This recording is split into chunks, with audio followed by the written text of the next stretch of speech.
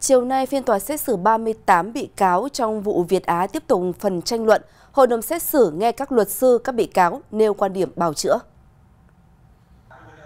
Nêu ba luận điểm bào chữa cho cựu Bộ trưởng Nguyễn Thanh Long, người bị Viện Kiểm sát Nhân dân Hà Nội đề nghị 19 đến 20 năm tù vì nhận hối lộ 51 tỷ đồng. Luật sư của ông Long cho rằng sai phạm của cựu Bộ trưởng Long diễn ra trong bối cảnh dịch bệnh đặc thù, đòi hỏi cách xử lý chưa từng có tiền lệ.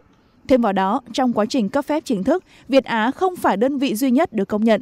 Luật sư khẳng định cựu bộ trưởng đã thực hiện nhiệm vụ một cách không vụ lợi, đồng thời cựu bộ trưởng này cũng có nhiều đóng góp trong các chiến dịch tiêm chủng thần tốc, phủ vaccine toàn dân với tỷ lệ cao top đầu thế giới.